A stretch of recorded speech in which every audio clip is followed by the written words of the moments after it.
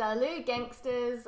So, something kind of crazy happened this week. I saw my subscriber count hit 500 people. Five freaking hundred people who are part of the Not Even French gang, and that's just so cool. So to celebrate these kinds of milestones, I always try and do a video that kind of allows you guys to get to know me better and so I reached out on Facebook, on Twitter, on Instagram, asking you guys to send me questions to do an Ask Me Anything video. And I got a few responses back, so we're definitely going to get into those. But before I get into anything, I just want to mention that I have created an Ask Me Anything form down below where you can send me questions, video requests, whatever it is all year round, 24 7, and I'll collect them over time and every time I do a Q&A video like this one, I'll definitely get back to you. But for now, let's get into the questions for today. Cool, so my first question is coming from Lean Back, and Lean Back asks,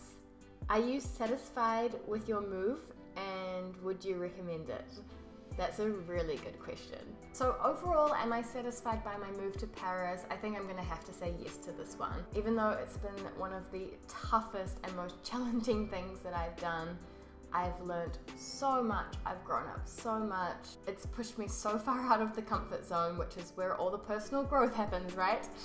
Um, I've met amazing people. I've met people from all over the world with really incredible stories. And I've also experienced and seen things that I just could never have done if I had stayed in New Zealand. Maybe I would have come to Europe one day. Maybe I would have run around the continent like a tourist trying to see everything that I possibly could. But being actually based over here means that I can take my time just really take it one piece at a time and eat local food and meet local people. The fact that I can take a train two and a half hours away and be in London still kind of blows my mind.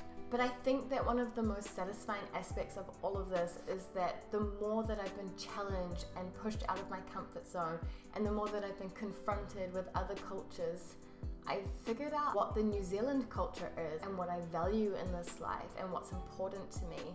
And I think your 20s are meant to be about exactly that about figuring out who you are and what you stand for and what you want out of this world and what you want to give to this world. And when I came to Europe, I had very little. I had some savings, I had sold everything I owned except for what I brought with me in my suitcase.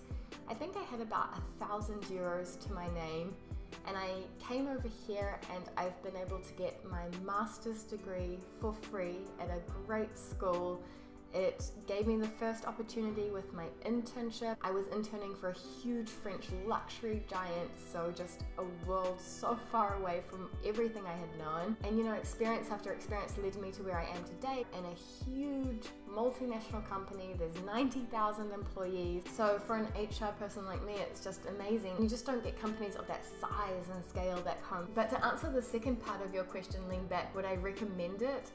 Um, no, not to everyone, definitely not. If you don't like change, if you like staying safe and in your comfort zone and you find a lot of security there, and you're not someone who's kind of itching to learn and grow and try new things, then this kind of lifestyle may not be for you, and that's totally okay. Living overseas and living somewhere, even as romantic as Paris, it's not just one big holiday. There are so many times over here where you feel homesick, you lose your patience you suffer from separation anxiety. You're confronted every day potentially with a new language, a new mentality, a new way of working, a new way of doing things. I would really only recommend it for people that really want it, have a lot of resilience, and have a lot of determination to make it work. It's definitely not for everyone, and it's definitely not for the faint hearted. Cool, so question number two is from Masha, and Masha asks, how do you manage to find good French courses in Paris and where do you go? So I've tried a few different options in Paris and the cheapest by far are the French courses for adults which are run in the local town halls in each arrondissement. They're called the Cours Municipaux d'Adultes and I'll leave the link in the description box because they're super cheap. So for example, I signed up for 60 hours worth of evening courses. There were around 20 to 30 people in the room, I think, and it was 131 euros for 60 hours. Otherwise, I found that Accord language school has a really good quality to price ratio. You've got smaller groups and the price was relatively cheap, I think, compared to its competitors. But I also found because I was studying, I was working in my internship, I was writing my master's thesis when I came here, I had basically no time to learn French. So I'm a really big advocate of self directed learning and being able to learn when you want. So the way I did this was I bought a really good French grammar book, which I will link down below, and just tried to do a couple of pages of that per week. I also listened to the podcast Coffee Break French every day during the commute. And your cheapest French tutor of all time is Netflix. You pay 10 euros a month and you can watch anything on Netflix in French with French subtitles so that helps hugely as well. And there's also language meetups in the city, for example, Franglish. And Franglish, for example, is an evening where there's French speaking people, English speaking people, and it's kind of like speed dating and you get paired up and you spend seven minutes speaking in french seven minutes speaking in english and you meet really cool people this way and you get to practice your language learning as well. I think you can pretty much almost do just as well yourself as you can going to these courses. So question number three is coming from laurent evitage and laurent has asked me if i listen to french music and if so what are my favorites? So i admit that i probably don't listen to it as much as I should. I've been really into podcasts and audiobooks lately anyway, so my music listening has gone downhill.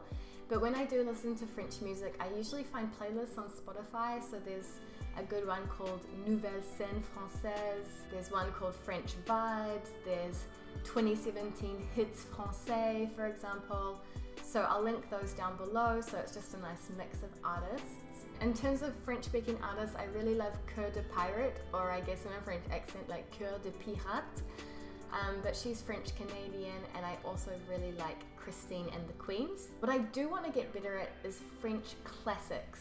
Like my boss recommended that I listen to Telephone, for example, and I've started trying to listen to karaoke kind of playlists just so that I can get to know like the great classics, nostalgic kind of French hits. But if you've got any recommendations for me on that one, please let me know down below so that I can grow my French music culture. The fourth question that I have is from Mon Ami Gabby, and she has asked me how I transitioned from a student visa to a resident visa where I was able to stay in France and work full time. So, if there's anything I can help you guys out on, it is visas. Um, as a non EU citizen, I have been on visa after visa after visa every single year that I live here. I have to renew my visa. I started out on a student visa and then at the time, just because I was finding it very hard to find a company that would sponsor me, I actually went down the relationship visa route, which is called the carte vie privée et familiale. And that was just the best option for me at the time, but they've just recently made it so much easier for foreign students and talent to stay in France. So if you graduate with a Master's 1 or Master's 2 in France, you can unlock a special status after graduating on what is called the APS Jeune Diplômé. This means a young graduate work permit. And this isn't a visa as such, but it allows you to work part-time while you're job hunting and looking for that permanent full-time contract. And once you get that contract, as long as you're earning above a minimum amount, I believe it's 36,000 euros, you will be eligible for what's called a passeport talent, a talent passport. And this is a four-year visa that allows you to live and work in France. If you want any details on the step-by-step process for this kind of stuff, please let me know down below and I will film a video on that if it's something that you guys are interested in. Cool, so moving on to number five, and this is a question from Sarita. And Sarita says, I moved to Australia recently and spent two and a half hours going grocery shopping because it's all new and you don't know and don't trust the brands. I'm really struggling with how long basic tasks like this are taking did this happen for you? So the answer to this is absolutely yes. Everything takes longer while you're getting used to it. Going grocery shopping, going to the post office, going to the bank. It's gonna take a lot longer. Everything's new and you're learning a lot of new stuff. When I first arrived in France, I wanted to be really independent. I went out walking to find a supermarket, to find a place to buy some towels and a lamp and just some basic household gear like that. And I was really proud of myself when I was able to do these tasks, even if they took me hours. And I came home and I was telling my French friends about what I bought, and it turns out that I went to the most overpriced and low quality supermarket in Paris. Like, I really was a fool. So, my recommendation would just be don't be stubborn and don't be too proud to ask. Like, ask everyone, ask the locals, ask other expats wherever you are. So, for example, in France, we have a Facebook group which is called New Zealanders in France, and I'm part of that Facebook group. And ask questions in these kinds of groups. But I will say be specific when you ask the questions. So, don't just say, What's the best supermarket? because everyone's going to have their opinion on that. But you can say, you know, for a small family who's on a budget but very much prefers to buy organically, which supermarket would you recommend? And if you ask specific questions like that on these groups, it's really awesome. You get a lot of feedback. And I think you can't go better than just asking the locals about where they go. But I would say as well, be kind to yourself because moving to a new country, takes time. It's like getting a degree in a subject that you've never studied before. It's going to take time to get up to speed and become an expert. And I would say that when you're in a new country as well, people are going to give you a lot of advice. So start notes on your phone. So have a note for restaurant recommendations, for grocery brand recommendations, for all of these kinds of things, and just note it down because otherwise you'll find yourself being like, oh, I'm sure they told me which brand of flour was the best, but I can't quite remember the name. And just take those notes, ask lots of questions, speak to everyone about it. Don't be afraid to ask silly questions just until you feel up to speed and like you're completely autonomous in your new life. So that's all the questions that I have for today, guys. I just want to say a big thank you again for helping me get to the 500 subscriber milestone. And the next video celebration will be for the 1000 subscribers. For this video, already in response to popular demand, I'm pretty sure I'm going to do a video completely in French. Please just tell one friend about me. Tell one friend about this channel. And if every subscriber that I have tells one friend and gets them to subscribe too, we'll get to the thousand and you'll have our celebratory video en français. But we're not there quite yet, guys. I've still got lots of cool videos coming out. And I'm also going home to New Zealand very soon, so I hope to be able to film a little bit over there and maybe do a vlog for you guys. If that's something that interests you, please let me know. Thank you so much for watching, and I'll say see you next time. A bientôt!